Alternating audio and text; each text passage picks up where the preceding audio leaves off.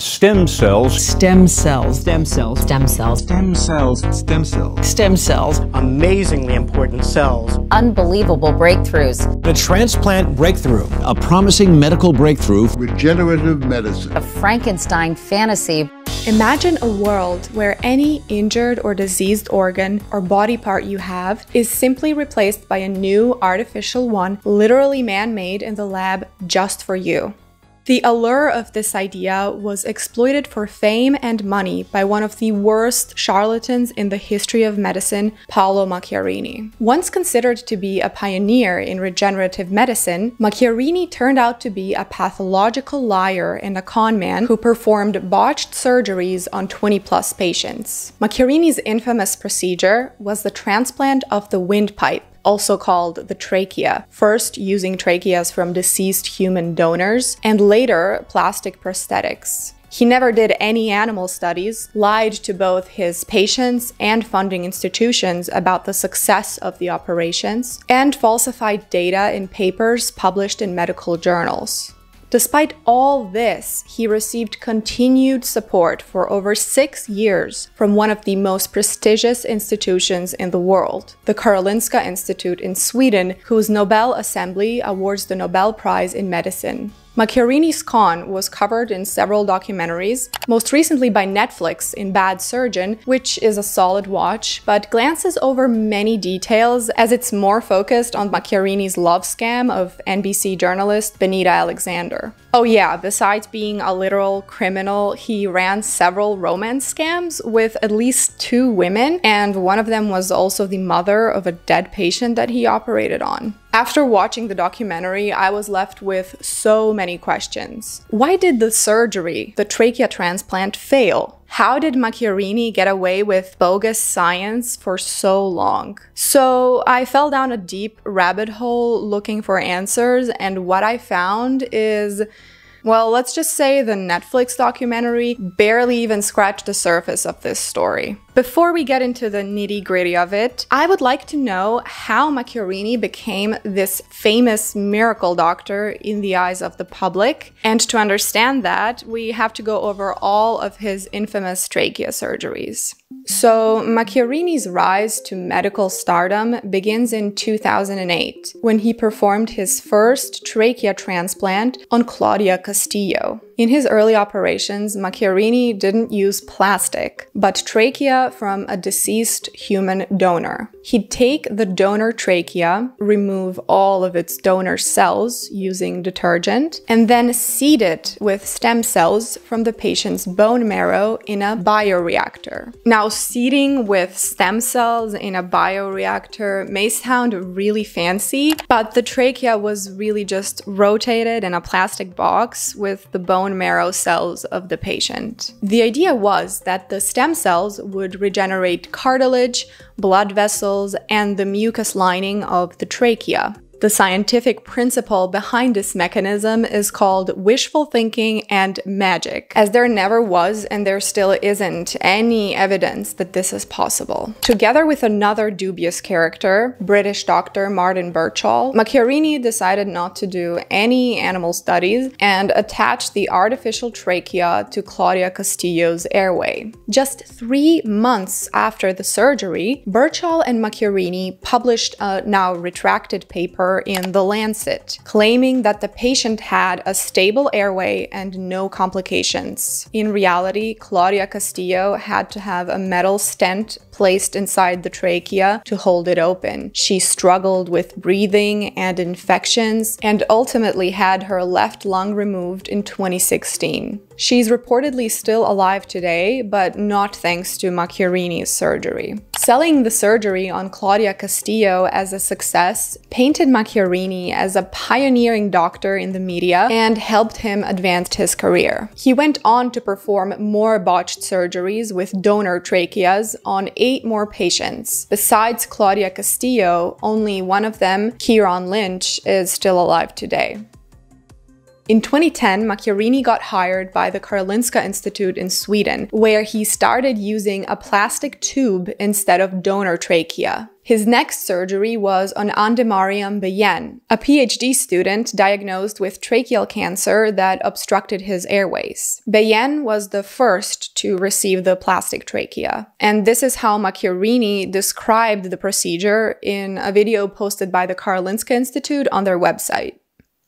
Um, almost three weeks ago, we transplanted for the first time a windpipe that was made by um, nanotechnology, which is a new technology that provides completely tissue engineered um, scaffolds, synthetic scaffolds, that can be then seeded with the specific cells that this structure needs. I found this infuriating to watch because Macchiarini just drops a lot of buzzwords like nanotechnology and tissue engineered synthetic scaffold. And what he means is literally a plastic pipe cured in stem cells. It is also devastating to watch how they try to portray Beyen as recovered in the video, when in reality, the plastic trachea slowly suffocated him and he passed away two and a half years later. In the next three years, seven more people received the plastic trachea from Macchiarini. Only one of them, Dmitry Onogda, is still confirmed to be alive today, and only because the plastic trachea was removed after six months when it started to collapse. And today he lives with a tracheostomy, which is basically an airway opening in the neck.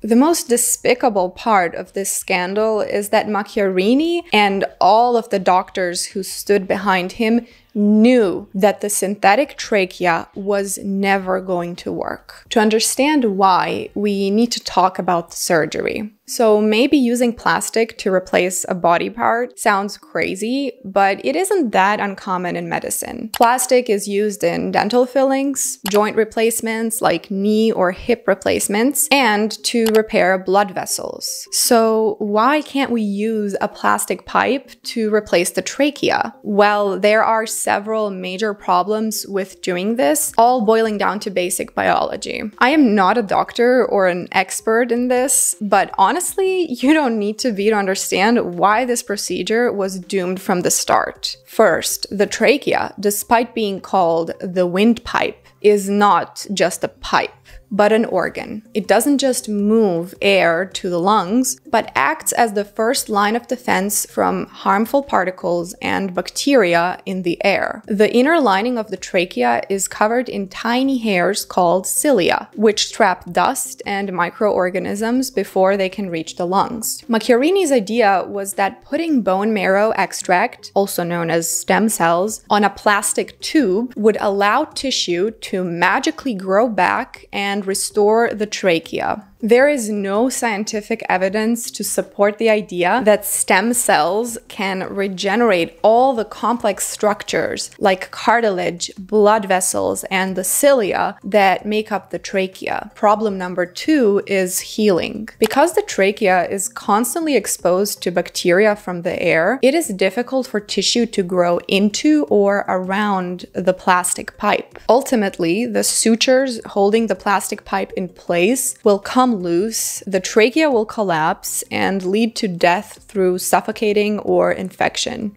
Even Macchiarini's first surgeries, where he used donor trachea, were never going to work. In any organ transplantation, restoring blood supply to the organ is crucial for a successful surgery. If an organ isn't connected to blood vessels, it won't receive oxygen and vital nutrients, which will lead to necrosis or tissue death. Restoring blood supply to the trachea is extremely difficult because the blood vessels are tiny and need to be reconnected between the cartilage rings. So it's a very complicated surgery. How did Macchiarini solve this obvious issue? The answer is, of course, stem cells, which will again magically turn into blood vessels and reconnect the trachea to the blood supply. All of this information on why synthetic tracheas never could have worked was published in a critical review in 2002, so six years before Macchiarini's first trachea transplant. So even if Macchiarini slept through the introductory biology and anatomy class in college, he still could have done a simple Google search to see if his highly experimental surgery had been studied before. So, how did Macchiarini get away with such blatant deception for years, continuing to receive funding while selling snake oil to his patients and superiors?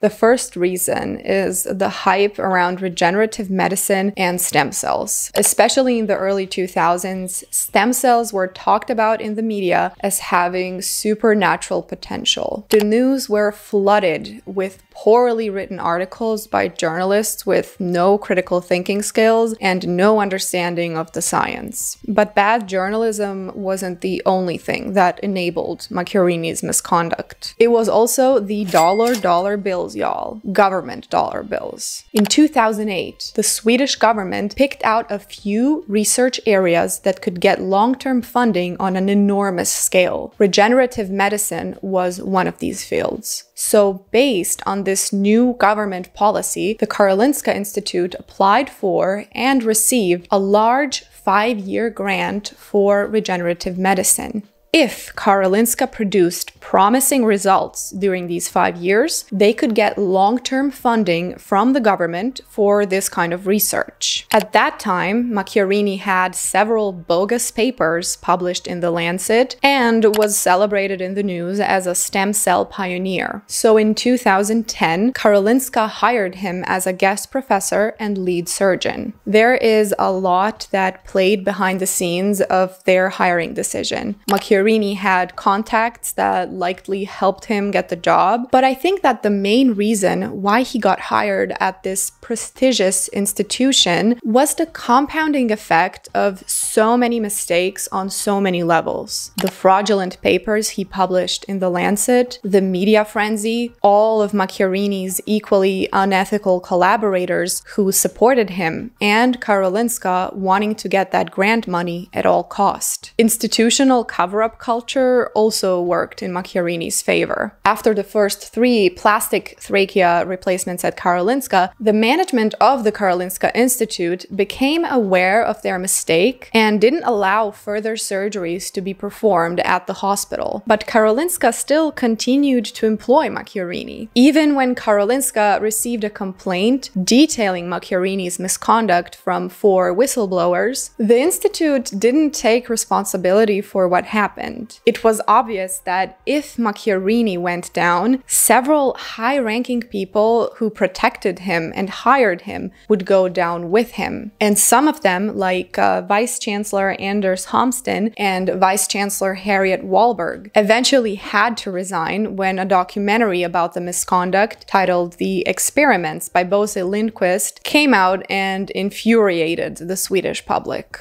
So, where is Macchiarini today? In June of 2023, he got sentenced in Sweden to two and a half years for gross assault and is expected to begin his sentence soon. If you want to get more details on this scandal, I recommend reading Leonid Schneider's blog For Better Science, where he also extensively covers not just Macchiarini, but all of the people who enabled him. You can also have a look at Dr. Pierre Delaere's book, The Biggest Lie in Medical History. All of the links are in the description. I'd love to hear your thoughts on the Macchiarini saga in the comments. Thank you so much for watching, and I'll see you in the next one.